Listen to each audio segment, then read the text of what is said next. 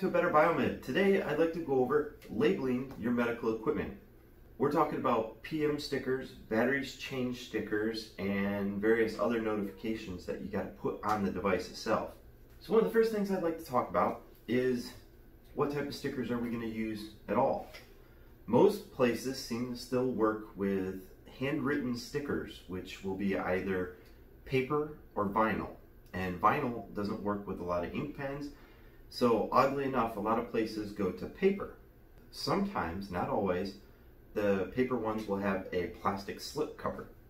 Now, what could possibly go wrong with that? You have an environment where we have highly caustic cleaning solvents.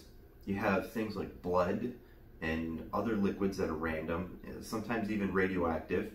Why would you ever want to use a paper backed sticker? It absorbs everything. Believe it or not, if you have a plastic slip cover on it, stuff will seep into the paper underneath. And guess what? You biomeds are the ones that are peeling off those stickers. You probably didn't even realize that there's blood and stuff underneath the slip cover. But it does happen. Basically, vinyl is one of the best things that we can use. And there's different types of vinyl or PVC stickers. Some of them will smear when you clean the equipment, when you wipe it down and some of them do a better job than that. Uh, some of them will have a plastic slip cover that fits over the vinyl. But there's an even better solution than that, and we'll talk about that in just a minute. The other thing that I want to talk about is whether or not uh, we should use handwritten or printed. Now, any of you that has walked up to a piece of equipment and tried to read who the previous technician was, when they did it, we've all been there. We've all been super upset because it's illegible or the solvent has gotten in there and smeared the ink so you no longer can read it. So obviously printed is your best option. There's a solution for that. Now let's talk about what data we put on the stickers. So let's start with battery change stickers. When doing a battery change sticker, only put the date that the battery was changed. If you put the date that is due, then we don't know the interval. By doing only the date that you installed the battery, if you're starting to notice a trend of defective batteries or poor user maintenance of those batteries, like maybe not leaving the equipment plugged in, then you're gonna have to change those batteries more often. And if technicians see a date due and it's not to that date yet, they're generally not gonna change the batteries, even though user abuse has required an early change. It happens, it happens often actually. So with battery change stickers, I recommend only putting the date that the battery was changed. PM due. Now this is one that a lot of people are going to disagree with me on, and that's fine. I mean, it's your shop, do whatever you want to do. But for a PM due sticker, on my labels, I, I generally will just have PM due, the due date. Not the, not the date that it was done, the date that it's due. The reason being is if the intervals on that piece of equipment change, or let's say, let's say it's a six month and you put it as a 12 month, and somebody that's inspecting you, they know that. It's rare, but it could happen. You could be written up for that. And I'm not saying extend your PM dates by any means. I'm saying minimize your risk. See, your work orders are your Bible, and your work orders tell the whole story. Your sticker it's just there for the users and for yourself and for when somebody's inspecting really quick to just verify that you've been doing your job. Stickers are not meant to tell the whole story. And that brings me to the next part, calibration results on stickers. I know some of y'all do it and I discourage it highly because writing is illegible. Nobody's gonna read all those fine little fine print numbers. And is it really required? Now here's where we need to open up a dialogue as a career field. Is it required to have your calibration results on a sticker on the outside of the equipment? Because let's say those calibration results are different than what you see on the work order. All it takes is one or two numbers to be different. Maybe you fat fingered it and you swapped them.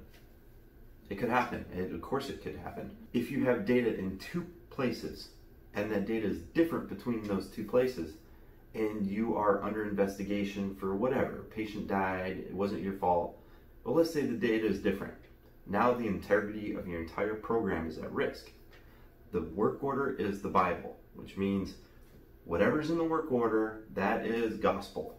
And everything else is just hearsay. So what I'd like to talk about as a career field is it really required to have all the information written on the stickers. And I'm talking about your ESUs, you have your defibrillators, you have a couple other devices out there like temperature, well they'll write the temperature and stuff. Is it really required to have all that data written on a sticker? Or with just a simple PM due date suffice? If anybody wants the service history on a piece of equipment, they can and will pull the work order anyway. And with that being said, if they're going to pull the work order, shouldn't that be where all the data is recorded, not on some stupid sticker that could fall off, get wiped away, or whatever? So I'd like to talk about that. Like, what what do you guys do on your stickers? Do you guys write all that stuff out? I'm just curious. So lastly, I'd like to talk about the best solution that I found for labeling your equipment. And I'll give a shout out to the, the guys over at Medical University of South Carolina they had an excellent idea, and when I came and worked for them, they had a industrial label printer that printed out all their PM stickers. And what they would do is based on the year, they would change out the colors. One year it might be blue with black ink, one year it might be yellow with blue ink, the next year it could be pink with black ink. But every year they change the stickers. So when you walk in a room, you can instantly see what's due and what's not based on the colors. What they're using is an industrial printer. Mind you guys, I'm not endorsing any particular company or product. I'm just telling you guys what this hospital is using and it worked very, very well. They're using a graphics products industrial label printer. And yes, you can see that that price tag right there, it's $1,795. Yes, it's kind of expensive. I get that, and it can be ridiculously so. Also, you're going to have to buy ink and the vinyl.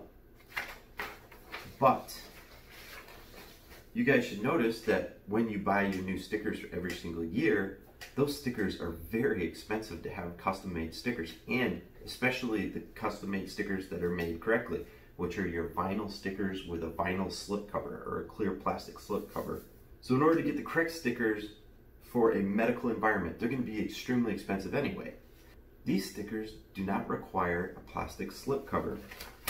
They work extremely well. Since they're designed for use in an industrial environment, you can wipe them down as much as you want. They will adhere to the surface of the equipment. It doesn't have to be a perfectly smooth surface either. It just sticks because they're intended for an industrial environment. But one of the biggest advantages to these stickers is you are not stuck to just one format. Let's say that you have a device that has both a batteries changed and a PM due, you can print one of each sticker in rapid succession. Just print this one, now print that one. And you have two stickers, you slap them on the outside of your equipment and you press on to the next device. You don't have to have a huge roll of stickers for each type of sticker you're gonna use. And there's no handwriting, so it's legible every single time. And with this being a thermal printer, you don't have to worry about the ink wiping away. It's a permanent solution, guys. So one of the things we also used to do with these things is we would have the hospital logo and then underneath that we would have the biomed telephone number and it's all printed on the sticker so if somebody walks up and sees that the PM is out of date there's your telephone number right there so they call them up and they're like hey man I got this down in my office it says it's due. Can y'all come down and check it out? So that's just my suggestion, guys. Get yourself an industrial printer with vinyl stickers. It seems to work perfectly and it's a huge cost saving measure, to be honest. We were able to buy just X amount of rolls. Once you go through your sticker material, all you gotta do is buy a couple more rolls and you're good. You don't have to buy 10,000 more stickers in order to do a production run, which is gonna save you money because you're not gonna use all those stickers. So that's what I got for you guys. It's open for discussion. That's just my opinions on stickers and how to label your equipment. This is something that everybody seems to do differently, and I wish as a career field that we could get more on board and do it correctly because the hospital that I'm currently working at, I'll tell you right now, we use hand signed paperback stickers and then you got to put a plastic slip cover, which is a whole separate roll of consumables that I have to take with me when we go out and do PMs. That is such an old school way of doing business, and there are better ways of doing it. Thanks for watching, guys. I hope you liked this video.